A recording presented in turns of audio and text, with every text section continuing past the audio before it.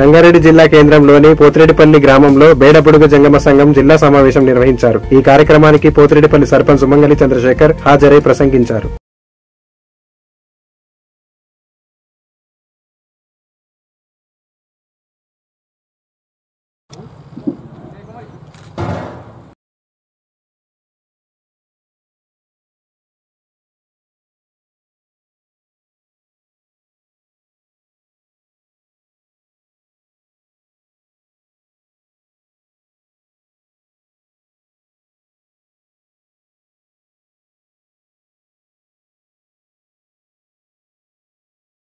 అయితే మాకు ఇంతవరకు స్వాతంత్రం వచ్చి డెబ్బై సంవత్సరాల కంటే అధికంగా జరుగుతున్నా కానీ ఇంకా మాకేమీ అందుబాటులోకి రాలేదు.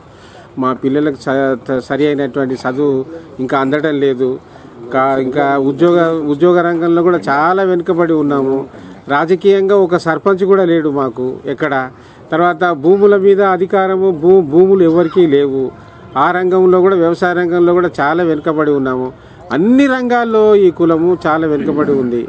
అయితే మొత్తము మా ఉద్దేశం ఏంటంటే ఏ విధంగానైతే మాల మాదిగ సోదరులు ఈ ఎస్సీ ప్రయోజనాలను ప్రభుత్వ రాయితీలను ఉపయోగించుకొని ఐఏఎస్ ఐపీఎస్ డైరెక్టర్లు మినిస్టర్లు కేంద్ర మంత్రులు రాష్ట్ర మంత్రులు ఇవి పొందారో ఆ మార్గంలో ఈ కులాన్ని కూడా ప్రభుత్వం దృష్టి పెట్టి ఓ ప్రత్యేకమైనటువంటి రాయితీలు కల్పించి ఈ కులాన్ని అన్ని రంగాల్లో ముందుకు తీసుకెళ్ళడానికి కృషి చేయాలి ప్రభుత్వము. మేము కూడా మేము కూడా దేశంలో భాగం రాష్ట్రంలో భాగం కాబట్టి మా మీద కూడా ప్రభుత్వానికి దృష్టి పెట్టాలి అని చెప్పేసి మేము ఈ సభాముఖంగా కోరుతున్నామండి.